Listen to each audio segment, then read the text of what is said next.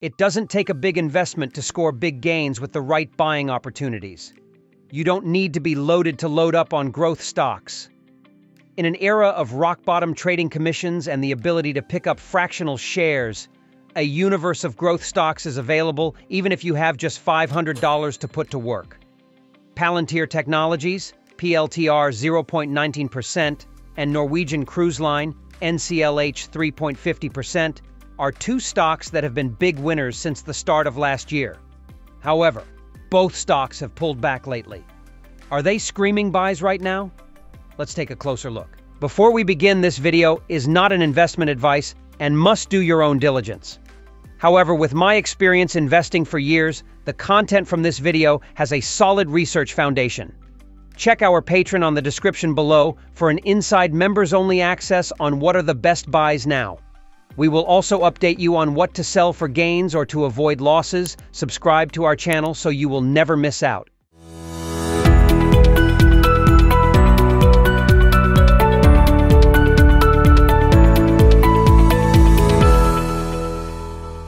One, Palantir. Some stocks don't seem cheap at first glance. Palantir has more than tripled since the start of last year, but the shares have tumbled 24% since peaking two months ago. The software developer for the intelligence community tripped up its investors earlier this month by giving problematic guidance after an otherwise strong quarter. Things aren't as bad as the recent downticks suggest. The midpoint of its new top-line outlook calls for 22% growth in the current quarter, accelerating from the better-than-expected 21% increase it just posted in the first week of May. Its full-year guidance has revenue growing by just better than 20%, a welcome bump from the 17% it scored last year. Analysts may have been holding out for more, but it doesn't mean that Palantir's fundamentals aren't getting better with every passing financial update. Palantir's surge is easy to explain. The market has rallied behind companies with legitimate artificial intelligence, AI, angles, and Palantir fits the bill. Palantir has been a leader in AI, data science, and machine learning before those buzzwords turned heads on Wall Street. Its decision-centric platform integrates AI with enterprise data, logic, and action.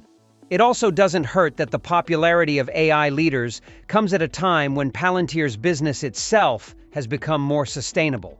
It has posted reported profitability for six consecutive quarters. It's also no longer just at the mercy of government contracts, growing its appeal to private businesses. Commercial revenue is growing a lot faster than its work in the public sector. Naysayers will argue that Palantir is overpriced at 64 times this year's projected earnings and 54 times next year's target. It's a not a cheap stock, but it has gotten cheaper this month. If you think you missed out on Palantir by not buying the stock when it was in the single digits in the springtime of last year, its May correction may be a chance to consider the more proven business at a higher price. 2. Norwegian Cruise Line. Last year was a great time to own cruise line stocks, but 2024 has been a bit more challenging for Norwegian Cruise Line shareholders. The stock is trading 20% lower this year, but it doesn't seem fair. Dismissing Norwegian right now seems to be a mistake. The industry has never been better, shattering pre-pandemic records. All of the major cruise line operators are posting record bookings and customer deposits. As the distant bronze medalist Norwegian doesn't get the same kind of love in the investing community as its larger peers, but that could be a mistake. Yes, Norwegian shares took a hit four weeks ago when it posted mixed quarterly results. This is also the same company that bounced back with a rosier outlook at last week's 2024 Investor Day presentation. May began with Norwegian boosting its adjusted earnings per share guidance from 1.23 to 1.32. Last week, it jacked up that forecast to 1.42 a share.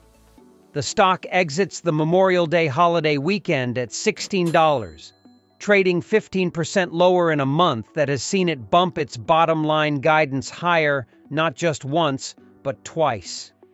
Norwegian was trading for 15.4 times the adjusted profit of 123, a share it was eyeing at the end of April. Now it's fetching a multiple of just 11.3 times the 142, a share it is now modeling for the bottom line. Does this seem right? Business should only get better from here, and the bargain will be even more apparent. The country's third largest cruise line operator is trading for just 8.9 times the 180 a share that analysts are forecasting for next year.